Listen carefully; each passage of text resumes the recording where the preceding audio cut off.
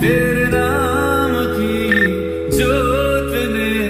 सारा लिया तमस मेरा